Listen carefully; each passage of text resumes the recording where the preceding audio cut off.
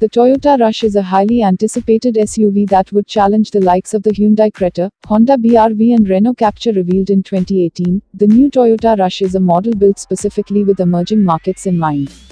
Currently sold in Indonesia, Thailand, the Philippines and South Africa, the Rush is a midsize 7-seater SUV that looks like a promising product for the Indian market. However, Toyota India has made it explicitly clear that it has no plans to launch the Toyota Rush here. While there are many reasons why the Toyota Rush isn't being brought to India, there are three major reasons why it hasn't been launched here yet. 1. It is styled more like an MPV rather than an SUV. In essence, it does look like a lifted Toyota Avanza, much like how the Honda BRV looks similar to the Mobilio. This is not a design language that's accepted by most Indian buyers.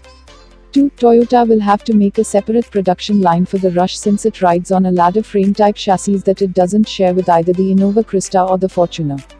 Investment aside, body on frame vehicles have disadvantages when it comes to handling and fuel efficiency, since they're heavier and usually not as stable to drive.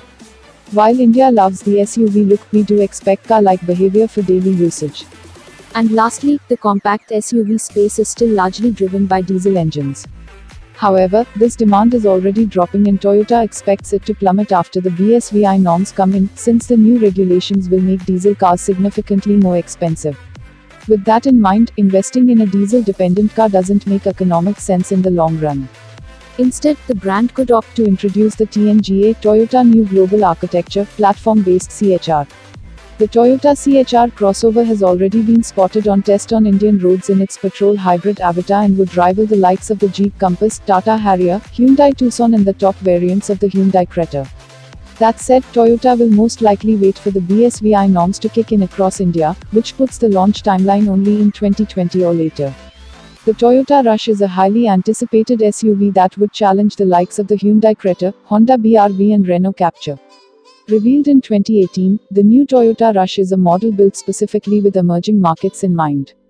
Currently sold in Indonesia, Thailand, the Philippines and South Africa, the Rush is a midsize 7-seater SUV that looks like a promising product for the Indian market.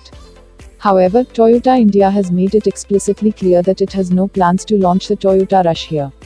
While there are many reasons why the Toyota Rush isn't being brought to India, there are three major reasons why it hasn't been launched here yet. 1. It is styled more like an MPV rather than an SUV. In essence, it does look like a lifted Toyota Avanza, much like how the Honda BRV looks similar to the Mobilio. This is not a design language that's accepted by most Indian buyers.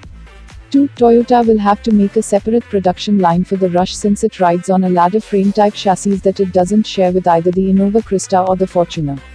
Investment aside, body on frame vehicles have disadvantages when it comes to handling and fuel efficiency, since they're heavier and usually not as stable to drive. While India loves the SUV look, we do expect car like behavior for daily usage. And lastly, the compact SUV space is still largely driven by diesel engines. However, this demand is already dropping and Toyota expects it to plummet after the BSVI norms come in, since the new regulations will make diesel cars significantly more expensive. With that in mind, investing in a diesel dependent car doesn't make economic sense in the long run. The Toyota CHR crossover has already been spotted on test on Indian roads in its petrol hybrid avatar and would rival the likes of the Jeep Compass, Tata Harrier, Hyundai Tucson.